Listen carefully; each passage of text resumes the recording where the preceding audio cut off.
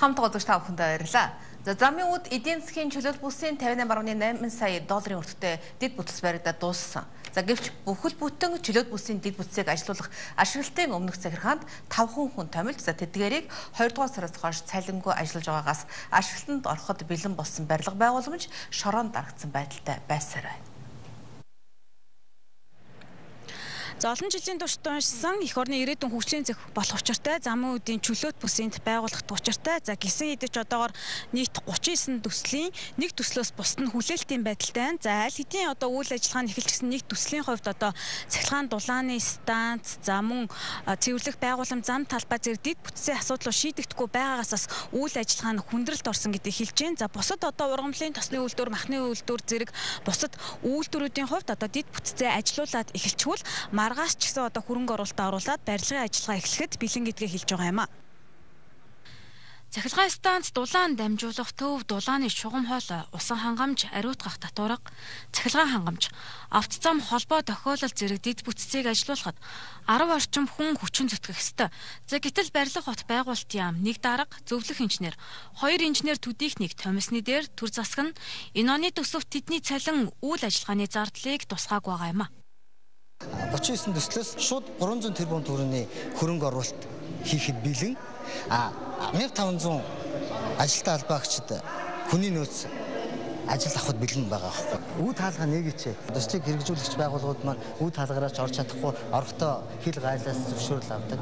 Хөрөнгө оруулалт хийсэн төсөл маань ажиллаад эхэлчихэд бол одоо бусдаа татврын хөнгөлөлт авах, гайлын асуудал, хил шалганы асуудал дээр дандаа хуулиуд нь хоорондоо зөрчилдөд хууль эрх зүйн орчин бүрдэж өгөхгүй байгаа маа. Ийм гурван санал хүсэлтийг л тавьж Дэд бүтцийн аль хэдийн барьцгаад 2-оос 3 жил ажиллуулж эхлэегүй учраас эхний ээлжинд чөлөөт бүсийн үүд хаалгыг ядаж төр гормоор 2-оос 3 га хэсэг газарт нээж алтан болог чөлөөт бүсийн зарчмаар ажиллах саналыг талуу тавьж байна.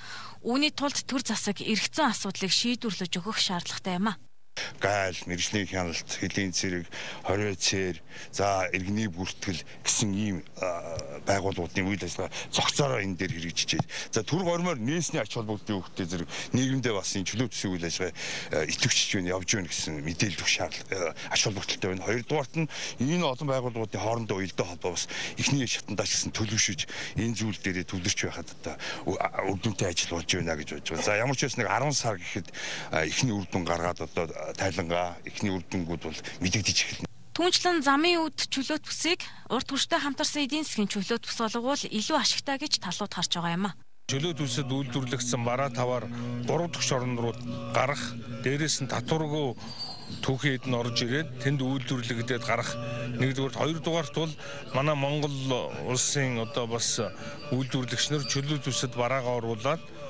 урд энэ том зах зээл рүү гаргах ийм боломж олцоотой. Энэ оны төгсгөлөөр бол энэ орчих байх гэж найдаж байгаа. Хамгийн гол юм бол хоёр чөлөө төслийн хооронд хоолойг нэгэд өгчхүүл хоёр талаас хөрөнгө оруулах асуудал нь бол нээлттэй болох.